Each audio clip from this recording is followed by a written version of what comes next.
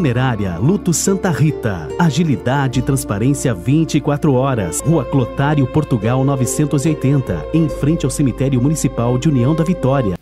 O carro Volkswagen Gol, que havia sido furtado na última segunda-feira, dia 4, em General Carneiro, foi localizado e recuperado nesta quinta-feira, dia 8, na cidade de Caçador. O veículo estava abandonado em meio a um matagal de uma área rural, que fica próximo da divisa com Lebon Regis. De acordo com os proprietários do carro, o veículo estava sem as quatro rodas, bateria, som e sem a bomba de combustível. O carro havia sido furtado de frente de uma academia no centro de General Carneiro Janeiro por volta das 20 horas e 30 minutos. A ação do ladrão foi flagrada por câmeras de monitoramento. Ele observou o carro por cerca de 5 minutos e quando se aproximou do veículo, levou exatos 10 segundos para abrir a porta e entrar no carro. Em seguida, saiu em alta velocidade. O carro já foi guinchado de volta para a cidade. Os documentos pessoais do proprietário não foram localizados.